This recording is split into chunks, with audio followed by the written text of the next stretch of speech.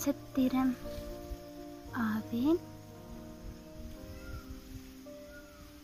நான் அழியாத உயிர். ஒளிப்புள்ளி போன்று உள்ளேன். சின்னஞ்சிறு புள்ளியாக உள்ளேன். எனக்கு அழிவே இல்லை. இவ்வுடல் அழியக்கூடியது. ஆனால் உயிராகிய நான் என்றும் அழியவே மாட்டேன். அழியாத நான் உருவாக்கும் எண்ணங்களும் அழியாததாய் சக்திசாலியாய் இருக்க வேண்டும். உயிராகிய எனக்கு தாய் தந்தை உள்ளனர். அவரையே.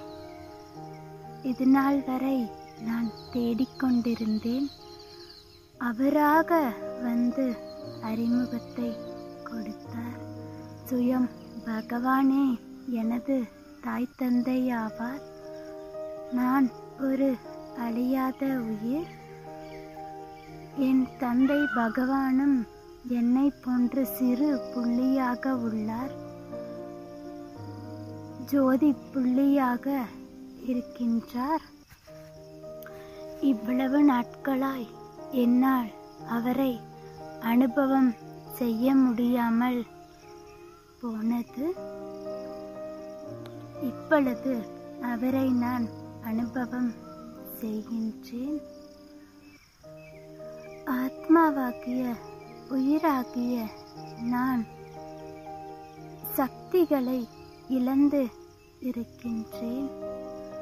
அதற்கு காரணம் என்னை நான் உடல் என்று நினைத்தது. பிறரையும் என்னை போன்று உடல் என்று பார்க்க ஆரம்பித்து விட்டேன். அதனால் என் சக்திகள் அனைத்தையும் இழந்து விட்டேன். இப்பொழுது எந்த சக்தியும் இல்லாமல் என் எண்ணங்கள் சக்தியற்று இருக்கின்றன. பகவானை உணர சொன்னால் உணர முடியாதளவு சக்திகளற்று நான் இருக்கின்றேன். அவரின் குணங்களும் மகிமைகளும் அவர் சொன்னால் கூட என்னால் கிரகிக்க முடிவதில்லை. காரணம் என் சக்திகளை நான் இழந்துவிட்டேன் ஒரு மனித உயிரை பார்க்கும் பொழுது அந்த உயிர் என்ன நினைக்கும் என்பதை கூட என்னால் யோசிக்க முடிகிறது. அவ்வளவு என் எண்ணங்கள் மிகவும் கீழானதாய் போய்விட்டது.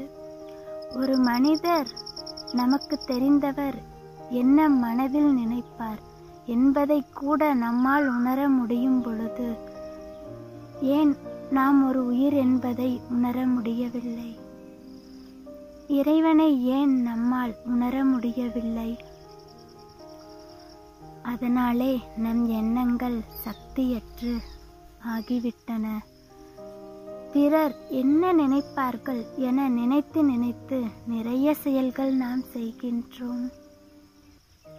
அதில் நிறைய ஏமாற்றங்களை அடைகின்றோம். நிறைய நம் விருப்பங்களை விடுகின்றோம். அதிகம் பேசி பேசி அதிகம் சிந்தனை செய்து செய்து நம் சக்திகளை இழந்துவிட்டோம் நாம் நடப்பது உடை அணிவது சாப்பிடுவது கூட பிறர் விருப்பத்துக்கு ஏற்றவாறு மாற்றிவிட்டோம். போடும் உடை கூட மற்றவர்கள் என்ன பேசுவார்களோ என்னும் நினைவுதான் கொடுக்கிறது. நமக்கென்று எந்த ஒரு உணர்வுகளும் இல்லாத அளவுக்கு பிற மனிதர்களின் உணர்வுகளையே சிந்திக்கின்றோம். அப்பொழுது நம் எண்ணங்கள் நமக்குள் இல்லாமல் போகின்றது. அதுவே நம் குழப்பத்திற்கு காரணம். நமக்கு பிடித்த நல்ல விஷயங்களை நாம் செய்தால் நம் வாழ்க்கை மகிழ்ச்சியாக இருக்கும்.